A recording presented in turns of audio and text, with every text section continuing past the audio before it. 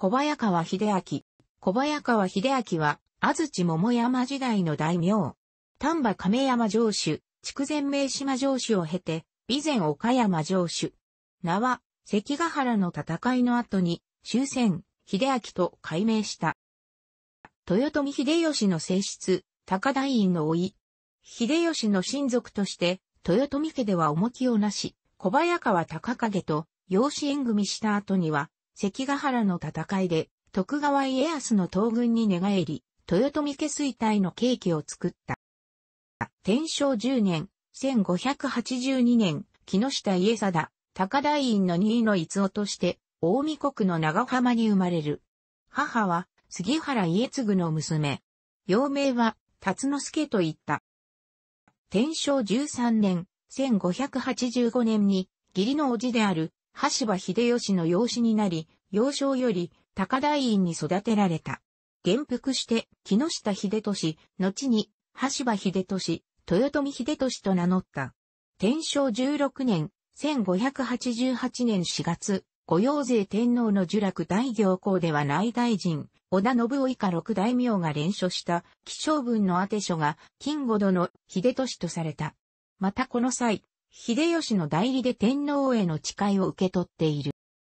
天正17年、1589年、秀吉の後継者候補として、わずか7歳で元服させられ、豊臣秀勝の領地であった丹波亀山城10万石を与えられた。天正19年、1591年、豊臣姓が確認され、文禄元年、1592年には、十三味、県中納言県左衛門の正しに除任し、丹波中納言と呼ばれた。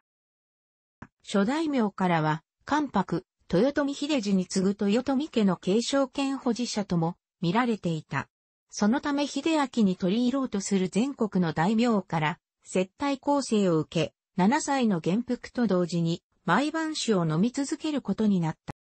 た。文禄2年、1593年、秀吉に実施、豊臣秀頼が生まれたことにより、秀吉ばっかの黒田義高から小早川高景に、秀俊を毛利輝元の養子にもらい受けてはどうかとの話が持ちかけられる。これを聞いた高景は、弟、ホイタ元清の嫡男である、毛利秀元を、毛利家の後継ぎとして、秀吉に紹介した上で、秀俊を自身の小早川家の養子にもらい受けたいと申し出て、認められる。なお、秀頼誕生により、後継者候補から外れた結果、各大名からの接待は激減したものの、すでに酒がやめられない体になっており、毎晩の酒盛りは続いていたという。12歳にして、アルコール依存症になっていた。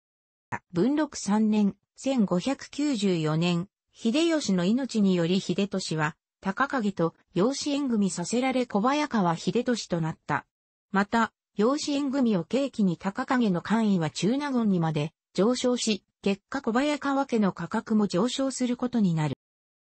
文禄4年、1595年、秀俊は秀治事件に連座して、丹波亀山城を没収された。しかし、同年のうちに、高影が、主な家臣を連れて、備後国三原へ隠居した。秀俊はその所領30万7千国を相続する形で、筑前国、名島城国主となった。小早川氏の家督相続にあたって、不画廊の山口宗英が、高影直臣の鵜飼元時らから引き継ぎを受け、検地を実施して、領内国高が定められた。なお、筑前東部の五万国については、高影の隠居領であり、高影の家臣が残っていたが、慶長2年、1597年6月の高影、没後に、小早川家でも戸様州の村上市、日野市、草刈市、清水氏が秀俊に仕官した。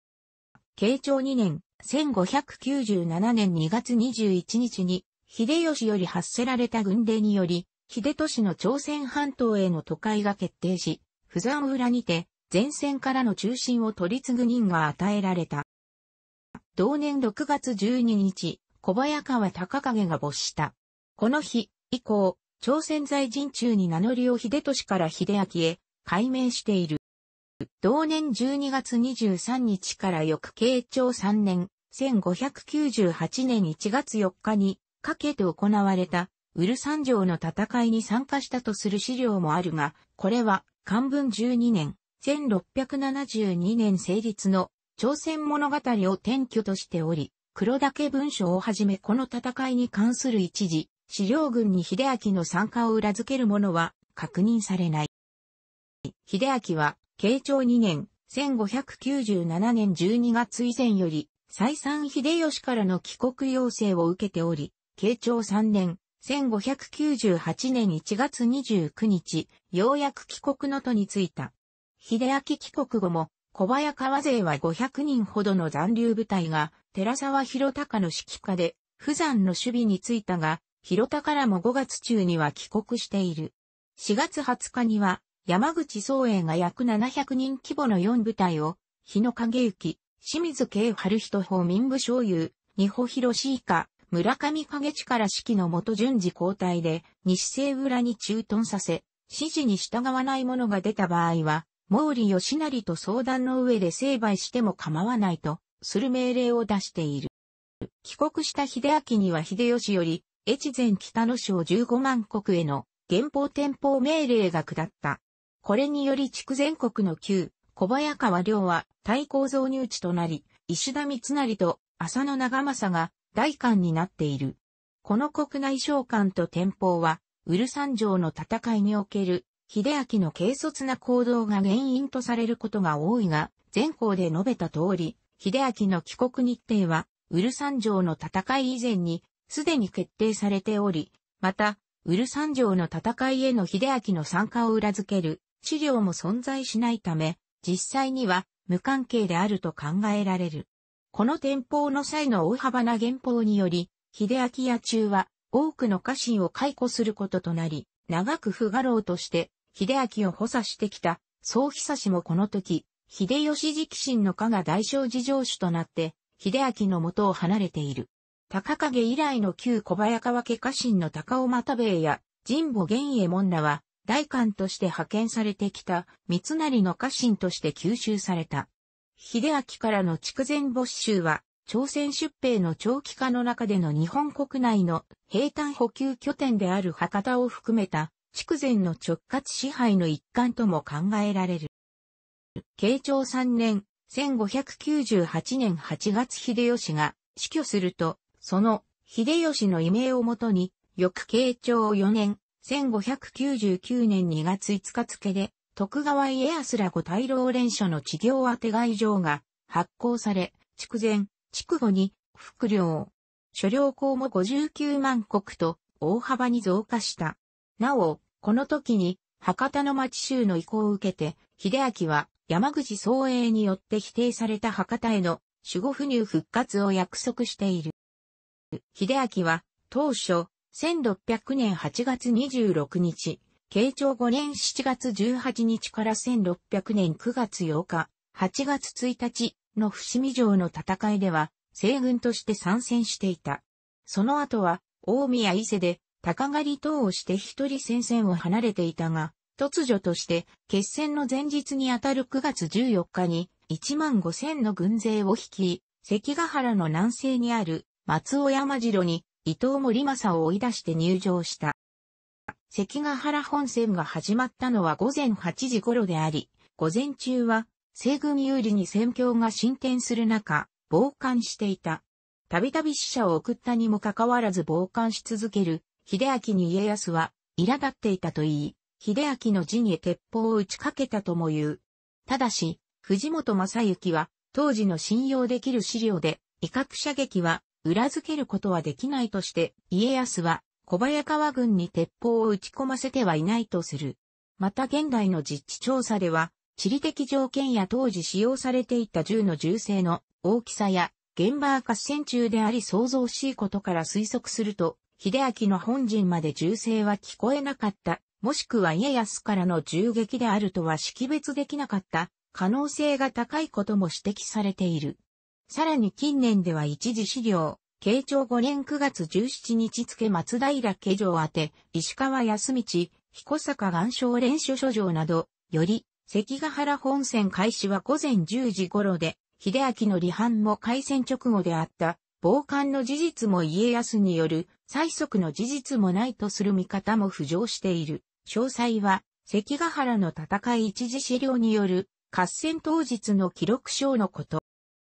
こうしたやりとりはありながらも、秀明は最終的には家康の催促に応じ、松尾山を降り、西軍の大谷義継の陣へ攻めかかった。この際、小早川勢で行っての大将を務めていた松野重元は、主君の離反納得できなかったため、無断で撤退している。秀明に攻めかかられた大谷勢は貨幣ながらも、平塚為広、戸田勝成と共によく戦って、小早川勢を食い止めたが秀明の離反から連鎖的に生じた脇坂安軸月本綱、小川助忠、赤座親すらの離反を受け、義継、為広勝成の諸将は討ち死にした。これにより大勢は決し、夕刻までに西軍は壊滅、三成は大阪城を目指し、伊吹山中へ逃亡した。なお、翌日以降に行われた三成の維持路差は、山城攻めなどでも秀明は出陣している。この秀明の離反については、当初から家老の稲葉正成、平岡頼勝と、その頼勝の親戚である東軍の黒田長政が中心となって調略が行われており、長政と浅野義長の連名による、我々は北万所、高台院様のために動いていると書かれた連書状が現存している。白川徹、三池純正らの高台院は西軍を支持していたということなる説や、その他傍証もあり、この書状の内容について研究が待たれている。内容では、北万所のために東軍につけとは、直接言ってはいない。また、本戦の開始前より離反することを長政を通じて、家康に伝えており、長政は大久保猪助、家康は奥平貞治を目付として派遣している。一方で、三成、義継ら西軍首脳も、秀明の行動に不信を感じていたらしく、豊臣秀頼が成人するまでの間の関白職と、情報2カ国の数を約束して、秀明を遺留したとする資料もある。ただしその資料は、聖徳3年、1713年成立の関原軍機体制に収録されている書状で、原本は確認されておらず、また文体に不審な点があることから、偽文書の可能性がある。また、松尾さんは12日の時点で、中国勢を置くとの増田長森宛て、石田三成書状が確認されており、それまで陣取りしていた大垣城主、伊藤森正を追い出して着陣している。関ヶ原決戦が計画的なものでなく、突発的なものであったとする説では、三成は秀明が松尾山城に陣取ったことで、最後尾の大谷行部の陣が脅かされて背後に、脅威を得、急遽大垣城を出ざるを得なかったとする。事実、大谷勢の陣は、松尾山城に向かって構築されていたことが確認されている。理由はともあれ、合戦中に裏切りを行った秀明に対する当時の世評は芳しいものではなく、豊臣家の養子として出世したにもかかわらず裏切りに及んだことが卑怯な行為として世間の嘲笑を受けた。戦後の論功交渉では、備前、美政、備中東藩にまたがる、播磨国の飛び地数軍以外の旧、浮田秀家領の岡山55万国に数を違法された。なお、戦後間もなく、秀明から終戦へと改名している。終戦はこの国替えの際に全領地の筑前国より年貢を持ち去っている。岡山城に入った終戦は家臣の治療を割り当て、自社寄診療の安堵といった施策を行う一方で、意気等々見守る、林長吉ら側近勢力の拡充を図っている。慶長6年、1601年に長年家老を務めた重臣、稲葉正成が小早川家を出本しているがこの背景には、旧来の家臣団層と新たに台頭してきた側近層との対立が背景にあると考えられる。関ヶ原の戦いから2年後の慶長7年、1602年10月18日、終戦は21歳で急死した。正五院道長の残した記録による上方から帰国の途上で行った高狩りの最中に体調を崩し、その3日後に死去したと記されている。終戦のこの創生に関しては、秀明の裏切りによって討ち死にした大谷義継のたたりによるものとする逸話も残されているが、実際に残されている病歴からは、主食、アルコール依存症による内臓疾患が死因として最有力となっている。終戦の死後、小早川家は、無継断絶により改易された。これは、徳川政権初の無継改易であった。終戦の旧臣たちは、関ヶ原での裏切りを責められたため士官先がなかったなどと言われることがあるが、実際には最後まで終戦に仕えた後に幕府に召し出され、大名となって立藩した平岡頼勝がいるほか、前田家や紀伊徳川家の家臣となった者もいた。ドラマ。楽しくご覧になりましたら、購読と良いです。クリックしてください。